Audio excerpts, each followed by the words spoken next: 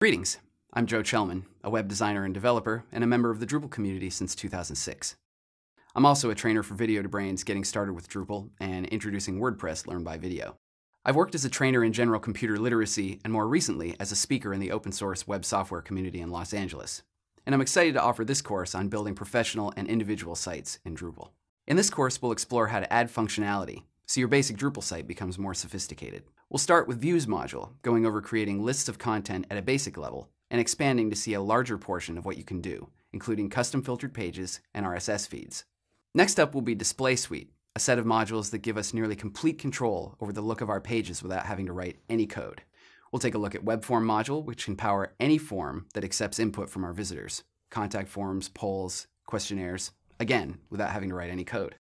To create a rich homepage, we'll look at Panels module, which can grab pieces of content from throughout your Drupal site and present them all in one place. We will then add feeds from Twitter and Facebook to increase our website's social media visibility.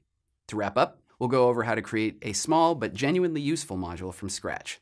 All the modules we will look at are very deep and reward experimentation and exploration. And once you've finished the course, you can continue to explore what you've learned and be more empowered to build websites that work just the way you want them to. Let's go. Thanks.